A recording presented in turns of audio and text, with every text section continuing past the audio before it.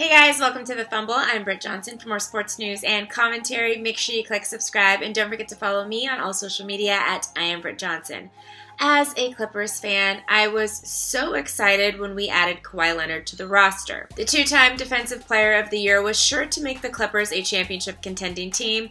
As a fan, we see him ball out on the court night after night, but just who is Kawhi Leonard? The NBA baller has made a name for himself in the world of basketball, but Let's face it, other than his stats, we don't really know too much about the guy. He has remained off social media, and when asked about things that don't pertain to basketball, well, he's usually pretty tight lipped. This week, teammate Lou Williams shed a little insight on Kawhi Leonard, the person, and, well, the biggest question of all was finally answered. Does Kawhi Leonard actually talk? Hmm. Well, Lou Williams says this. He talks, Kawhi talks the most in our group chats, believe it or not.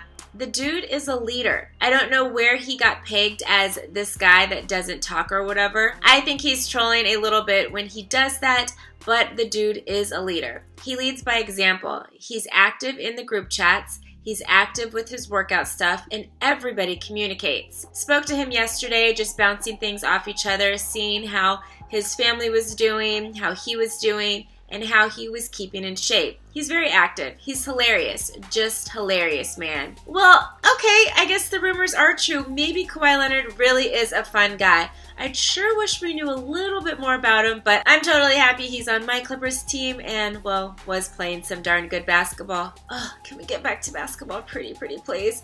Okay, guys, so I gotta ask you guys a question.